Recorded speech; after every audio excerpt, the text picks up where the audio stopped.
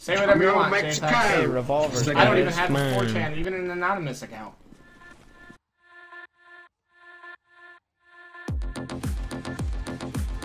I know, I was. Actually, I just got off the phone with the police department. They should be here any minute.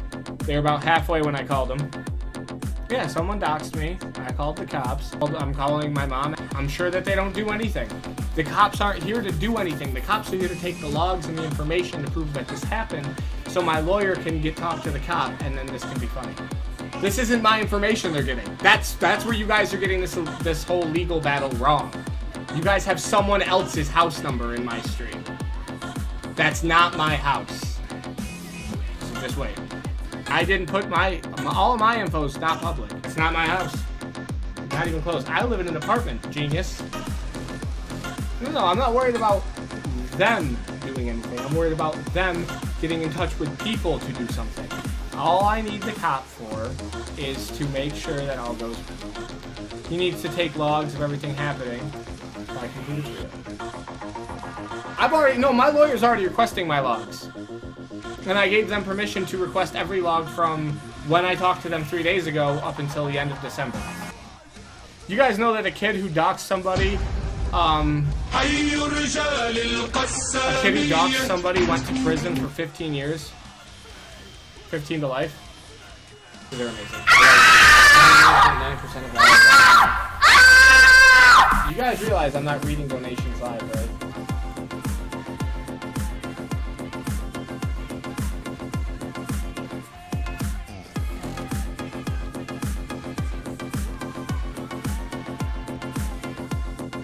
My, my donations don't show up live. They need to get rid of this fucking one shot.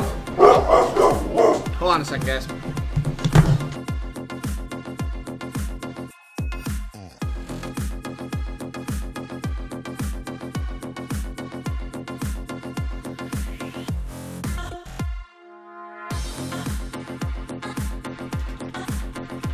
Except for I don't have child porn, and the cop was laughing at you guys. Oh, I'm being DDoSed now! They tried to DDoS me while the cop was here.